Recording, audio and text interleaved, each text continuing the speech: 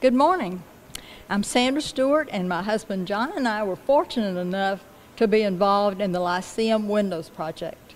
My job was to organize the people who paid for all window restorations.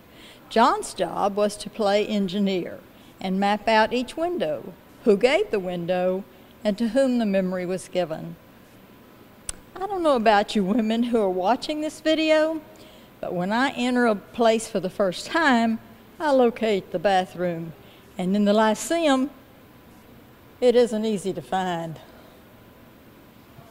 Come with me.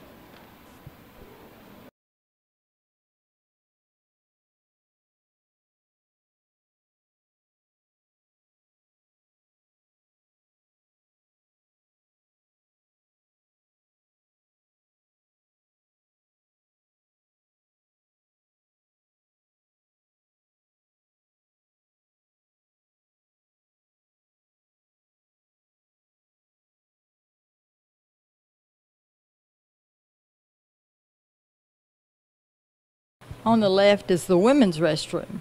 The window is beautiful. We'll see, the, I'll show you in a minute.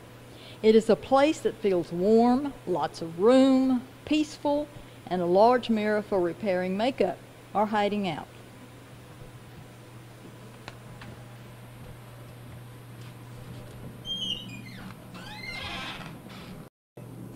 Beware, it is a long way from the front door of the Lyceum to the bathroom door. If you want to mingle as you head for the back, don't tarry too long. Just saying.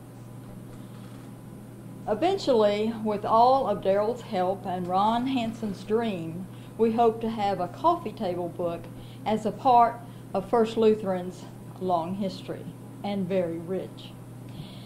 Now, to give equal time, let's go to the men. Men's restroom on the right is also quite large and comfy.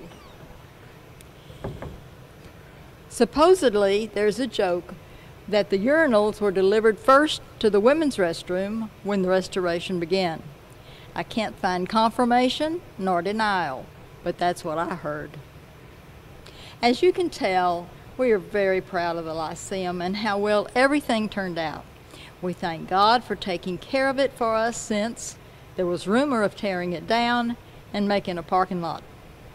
Cooler heads prevailed and someday we'll have more parking space available. Enjoy your party.